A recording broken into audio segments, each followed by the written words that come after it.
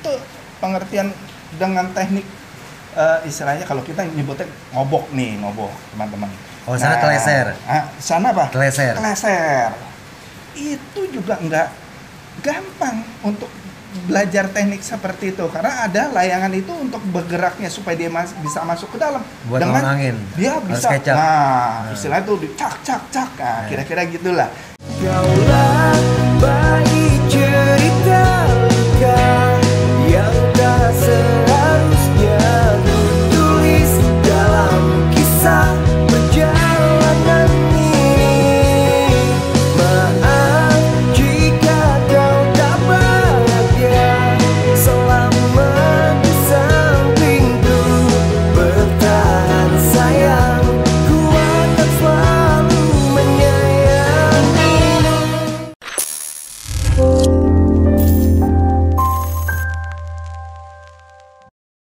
Yap, sebelumku kembali lagi di channel YouTube gua Prima MM. Kali ini gue udah bersama dengan pemain senior di dunia layangan yang mungkin tidak asing lagi. Kalian sudah tahu, yaitu adalah Pak Yose. Nah, eh, sambil nunggu waktu berbuka dan acara berbuka di tempat Joksin ini, gue pengen ngobrol-ngobrol sedikit sama Pak Yos tentang eh, rules pertandingan nih, aturan-aturan layangan yang sekarang banyak banget memang kontroversi. Memang kita nggak bisa menyalahkan eh, apa beberapa ini ya organisasi atau apa pun gitu. Semua daerah memang punya aturannya masing-masing. Tapi yang di sini yang kita bahas di sini sama Pak Yoso ini adalah eh, sebenarnya yang ideal itu seperti apa aturan-aturan. Nah kan mungkin dari saya pribadi saya juga punya argumen sendiri. Nah sedangkan Pak Yoso yang pemain senior yang sudah cukup lama punya aturan sendiri dan argumen sendiri. Nah kita pengen tahu nih Pak Yosa tanggapannya tentang aturan-aturan dunia layangan ini seperti apa gitu. Nah, nih eh, jadi gini Prim. Jadi eh, kita, eh, mohon maaf, jadi boleh sedikit ya ya Boleh, boleh, Pak. Ini kan bebas, ini kan nah, sharing. Nah, jadi eh, sekarang kan kita ada organisasi itu yang eh, mendukung supaya untuk kemajuan layangan lebih bagus ke depannya. Hmm. Nah, organisasi itu ada apa? Ada pelangi Hmm. yang benar-benar diakuin. Ya, jadi eh, teman-teman mesti Sudah- ngakuin sudah legal. Sudah legal. Punya badan eh, legalitas. badan legalitas. Nah, itu dia di bawah KONI yaitu Kormi. Nah, pelangi itu di bawah Kormi. Dia sebagai a- apa layangan tradisional istilahnya, tapi eh, tidak menutup kemungkinan juga untuk layangan aduan dimasukkan juga di pelangi. Itu bo- boleh-boleh aja. nggak Sah-sah aja ya? Aja itu. Nah, cuma kan kita kepengen bahwa layangan ini nantinya menjadi ajang prestasi. Iya. Nah, apakah bisa di pelanginya? Nah, itu sampai saat ini saya belum tahu. Belum tahu. Nah, tapi intinya pelangi itu ialah badan eh, apa organisasi layangan yang diakui. Nah, sedangkan yang sekarang sedang dibentuk lagi yaitu namanya Perlasi. Perlasi.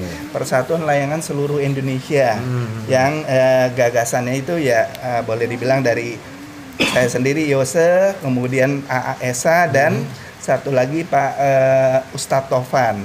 Itu pendirinya yang sekarang ini. Tapi kita lagi mengajukan eh, Kemkun eh, Kumhamnya. Jadi supaya legal.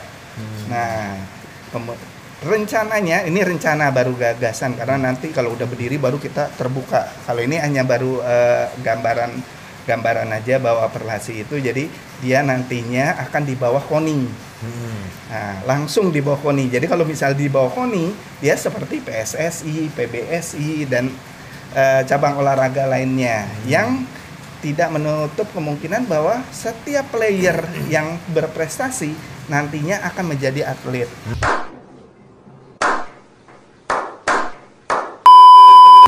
Nah, kalau menjadi atlet apa keuntungannya? Digaji pemerintah, segala sesuatu dan kalau memang prestasi bagus bisa untuk ajang luar negeri.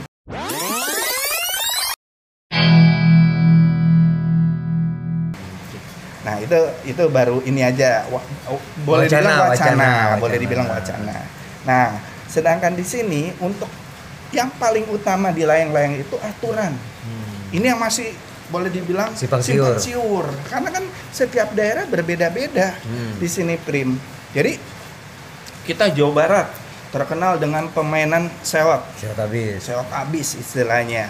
Jawa Timur terkenal, Jawa Timur, Jawa Tengah itu eh, terkenal dengan eh, permainan sukoi. Hmm. ya kan Manado lain lagi layangannya, Hmm. Palembang lain lagi. Nah, jadi nah ini kita coba menyatukan supaya ada peraturan nasional. Yang baku. Nah, yang baku. Jadi contoh seperti misalnya main layangan Jawa Barat, Jawa Barat. Seot itu bermain tinggi, Hmm. nah, dia ada ketinggian dan ada permainan main atas bawah. Hmm. Nah, itu udah sebetulnya Ciri udah khas ya. ciri khas itu dan eh, kalau dalam eh, bermain itu itu hal permainan yang bagus karena kalau kita contohkan seperti main bola atau main bulu tangkis atau main apa pun itu ada perpindahan tempat. Jadi dia ngerasain tadinya main di kiri sekarang main di kanan. Hmm. yang di kanan ngerasain main di kiri. Sama kalau layangan itu Jawa Barat itu bermain di atas dan bawah. Jadi mereka merasakan main di atas dan di bawah.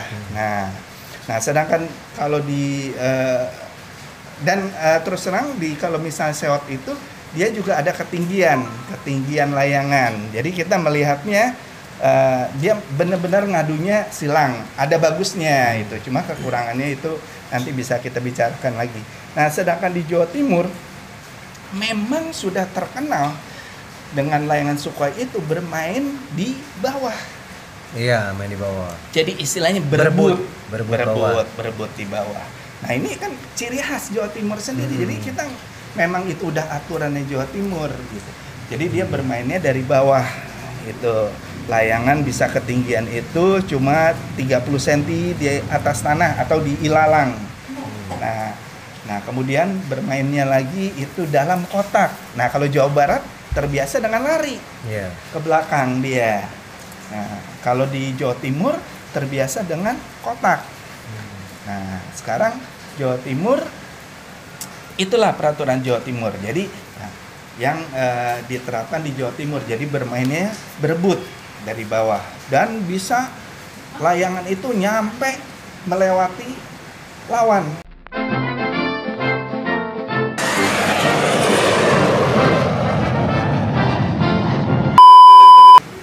Di Jadi melewati dia lawan. Kemudian ada aturan lagi eh, apa yang boleh nangkep benang. Mm-mm, boleh itu Ah, boleh. Gitu, nangkep benang. Iya. Diperbolehkan di Jawa Timur. Jadi itulah aturan Jawa Timur. Nah, tapi kan ini balik lagi kita meing- solusinya eh, pengen mencari eh, Titik peraturan titik tengah, peraturan yang bagus. Sekarang seperti Sukhoi Hmm. masuk ke Jawa Barat. Contoh ini ini contoh ya. Jawa Barat. Jawa Barat bisa menerima dengan permainan seperti itu. Bisa karena beberapa kali kebetulan saya juga ikut pertandingan-pertandingan di luar. Kalau di Jawa Barat saya ngikutin peraturan Jawa Barat, saya main ke Jawa Timur di Jember atau di Malang saya ngikutin peraturan Hmm. eh, Jawa Timur. Jadi yang nggak masalah selama ki- memang peraturan seperti itu seperti itu kita harus ngikutin, Ngikutin. harus gitu. Tapi kan kita ingin mencari peraturan yang nasional. Jadi semuanya itu bisa. Hmm. Nah, peraturan nasional itu gimana? Nah, ini yang perlu kita masukan-masukan dari teman, Hmm. teman-teman semua. Nanti duduk bersama. Gitu. Kita nanti bareng-bareng mana yang ada masukan-masukan yang bagus yang kita bisa terapkan di peraturan. Hmm. Nah, tapi ini garis besarnya aja. Kalau peraturan bermain layangan itu, ah, ini kalau ah, versi Yose ya, Yose udah ngerasain main di Jawa Timur, ya, bagus. Itu dengan Sukhoi, istilahnya main jebret itu teknik, itu teknik. Cuma tinggal apa? Aturan-aturannya yang kita mesti terapkan yang benar.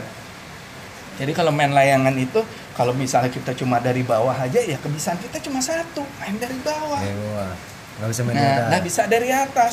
Nah, sedangkan main layangan itu harus bisa dari atas dan dari bawah. Hmm. Jadi gimana supaya ininya eh, semua teman-teman bisa mempelajari main dari atas juga? Ya harus kita ada dua versi. Maksudnya eh, dua permainan. Yang pertama dari atas, yang kedua dari, Dari bawah. bawah. Ah. Kalau terjadi draw, boleh biasanya itu dalam pertandingan boleh eh, mereka itu memperebutkan Hmm. atas bawahnya atau ada juga yang tadinya karena udah bermain di atas kembali lagi ke atas Hmm. Kira-kira gitulah prim nah jadi eh, teknik bermain apa eh, peraturan itu ini yang mesti kita obrolkan bersama untuk mencari solusinya jalan keluarnya nah itu kalau misalnya gini satu lagi di Jawa Timur itu pengertian dengan teknik eh, istilahnya kalau kita nyebutnya ngobok nih ngobok teman-teman. Oh, sana keleser. ah, sana apa? Keleser. Keleser. Itu juga nggak gampang untuk belajar teknik seperti itu karena ada layangan itu untuk bergeraknya supaya dia mas- bisa masuk ke dalam Buat lawan angin. dia bisa kecap. nah Nah. istilah itu cak cak cak nah, Nah. kira-kira gitulah tapi sebetulnya bisa dipelajarin juga tinggal gimana kita mau mempelajarinya nah cuma kembali ke bicara eh, permainan namanya olahraga itu kita diajarkan bermain sportif contoh Hmm. contoh contoh main bola main bola ada namanya offside. Offside. Jadi pengertian offside itu lawan sudah ada di ujung dekat gawang. Jadi itulah yang namanya offside. Kenapa harus ada offside? Kalau tidak ada offside itu mungkin namanya bola itu golnya bisa puluhan. Terjadinya bisa 25 20 10 kira-kira begitu. Maka itu ada namanya offside. Kalau di bulu tangkis contoh lagi eh, raket melebihi net. Nah itu juga nggak boleh. Masa bola baru penol udah langsung disemes dilewatin. Nah itu aturan-aturan yang eh, berlaku di olah, cabang olahraga. Hmm. sama kita juga pengen menerapkan ini baru mau menerapkan ya tapi nanti tinggal tergantung teman-teman gimana masukannya. Bermain layangan itu kita istilahnya yang tidak boleh seperti offside itu ngobok ngobok itu apa karena mengambil senur lawan. Tidak benang ketemu benang. Sedangkan mungkin teman-teman kan berasa bahwa benang itu ada yang mahal ada yang ini ya kan? Beli benangnya udah sejuta yang diudak senur. Nah kira-kira gitu. Itu yang yang eh, Yose maksud tidak fair play. Tidak fair play. Nah kira-kira gitulah teman-teman. Jadi eh, tapi eh, apa ya itu balik lagi ke teman-teman semua gitu. Di Jawa Timur dengan aturannya sendiri ya, apakah bisa menerima dengan nantinya ada aturan nasional ya kita kan harus ngikutin aturan nasional. Nah cuma tetap aturan nasional itu tidak boleh sepihak. Harus Duduk seluruh. bersama.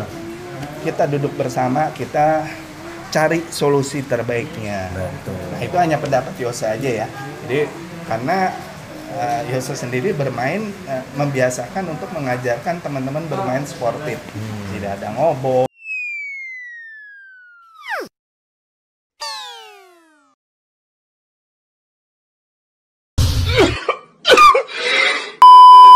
ya kan? Kita ngadu karena dengan mengadu layangan ini ini ada teknik. Jadi kita nggak perlu takut oh itu yang itu kan tarikannya kencang pak Yose ada teknik. Gimana ngatasin layangan eh, tarikan yang kencang? Ada namanya kita teknik ke dalam ya kan? Oh gimana pak Yose kalau main ulur-uluran ada yang namanya ngedouble caranya tapi itu ada tekniknya. Dan harus dipelajarin. Kalau kita nggak pelajarin ya nggak bakal bisa Betul. jadi semua segala sesuatu itu harus dipelajarin. Jadi eh, mohon maaf bukan memojokkan eh, peraturan-peraturan suatu daerah enggak. Ini kita eh, hanya eh, apa Eh, istilahnya argumen Ya, berargumen bahwa ini pendapat- yang ideal peraturan-peraturan ideal yang menurut Pak Yosa itu seperti apa ya memang memang masuk logika itu adalah satu pertandingan yang buat saya fair ya main yang sebenarnya itu adalah atas dan bawah Hmm. cuman ya itu lagi kembali lagi karena kultur kita punya banyak budaya Hmm. tradisi setiap Betul, daerah betul. punya aturannya masing-masingnya sah-sah aja sah-sah cuman aja. tapi nanti ketika sudah sifatnya nasional mungkin nih Ada ada, aturan. salah satu aturan baku yang mau tidak mau semua harus ikuti aturan pemerintah itu. Tapi dengan Betul. catatan itu dirembukan dengan kita duduk bersama, Benar, benar. dicari solusinya, Solusi. dicari benang merahnya segala macam. Tapi kalaupun memang nggak ketemu juga, kalau saya sih sedikit saran dan saya punya argumen Iya, sendiri. siap, boleh boleh Prim. Setiap yang namanya cabang olahraga, Betul. menurut saya itu punya banyak kategori. Contoh renang, Oh iya, ada gaya bebas, ada gaya katak Betul. segala macam. Nah, kalau seandainya layangan ini jadi salah satu cabang olahraga di apa di Indonesia ini dan resmi, Mm-mm. nanti tidak menutup kemungkinan itu akan ada yang namanya eh, Ada eh, dua. ada kategori. Ada dua kategori. Bisa, enggak, Mas? Ada freestyle Hmm. kita kan. Nah, ini yang dimaksud prima mungkin nih. Ah. Jadi kita kita agak ini Ah. dikit. Yang kedua adalah layangan sewot. Benar-benar bermain sewot, tarik. Tarik Oh, murni. Jadi ada dua. Maksud saya gini Ah, Pak Yos. gimana? Banyaknya kategori itu kan Ah, eh, nggak hanya cuma dua kategori. Betul. Bisa jadi layangan aduan ini ada empat kategori, tiga Nah. kategori atau lima kategori. Contoh, contoh contoh ini eh, sewot abis. shot habis betul Ini murni. Ah, ah, layangan ada seot. ada Mhm. yang eh, khusus sukoi tapi kotakan. Kategorinya kotakan. Oh, itu khusus Sukhoi. itu khusus Karena Sukhoi. kecepatannya Betul, sama. kecepatan Itu sama. bebas, tapi Ah. freestyle. Ah, ah. Nah, nanti ada lagi kategorinya apa? Free- freestyle. Freestyle. Freestyle. Betul. Jadi Nah. layangan apa aja Nah. itu bebas, betul. Kemungkinan besar yang freestyle untuk ke semua campuran ini Hmm. ini nggak ada kenapa? Kalau sewot ketemunya eh, Sukhoi itu udah kalah layangan. Mm-mm. Itu udah pasti, itu udah kalah layangan. Betul, betul. Jadi Heeh, saran harus saya ya. Kalau harus mi- dibedakan Ah, itu ah. kayak motor yang 100 cc 500 cc Ah, ini 110 cc. itu. Betul, Maksudnya, itu Pak Yos. masukan yang bagus juga tuh Ah, Krip. Nah, itu dia broku. Boleh dipikirkan, itu harus itu. Nah, masukan-masukan ini nih Nah. yang kita harapkan dari teman-teman semua. Nah, jadi eh, nggak boleh kita ego dengan eh, kemauan kita sendiri. Nah, tapi balik lagi nanti apa? Hmm. Kalau sudah ada suatu kesepakatan, nah itu ya kalau misalnya istilahnya eh, ini suara lah, Hmm. udah suara terbanyak ya kita harus ngikutin suara terbanyak. Itu aja, Pri. Iya. Nah, Benar. Yang penting- 70, 30 ya. 70 yang kita harus ikutin. Betul. Yang penting gini, eh, intinya eh, dua organisasi ini eh, kita Pelangi, dukung nah, antara pelangi Perlasi. dengan perlasi. Siapa pun Harus, nah. siapa pun itu yang penting punya dampak positif untuk para pelayang di Memajukan. seluruh Indonesia. Betul, itu yang paling utama. Itu kita dukung. Ya mudah-mudahan doa saya ini eh, layangan ini semakin berkembang, maju Amin, dan amin. punya bibit-bibit atlet Betul, betul. yang secara legal diakui oleh negara. Hmm. Oke, nah itu dia Broku. Kebetulan kita juga mau uh, memulai acara di tempat Joksin ini. Joksin. Jadi next kita Ngobrol-ngobrol lagi. lagi. bareng sama Pak Yos Siapa tahu nanti kita bisa live, Ba- jadi bisa ada masukan-masukan Ah, dari teman-teman. benar, iya ada kan? komen-komen Nah, langsung. Itu yang paling e- enak. ya kan? Benar, benar. Oke broku, thank you banget udah nonton video ini. Jangan lupa kalian like, share, and subscribe channel YouTube ini agar terus berkembang. Dan sampai ketemu lagi di video-video gue selanjutnya dari gue Prima MM dan Pak. Yose. Kita Monas. pamit. Salam satu langit. Salam satu langit. Layang-layang seperti cintaku, karena kau tarikan ulur sesuka hatimu. Layang-layang menang.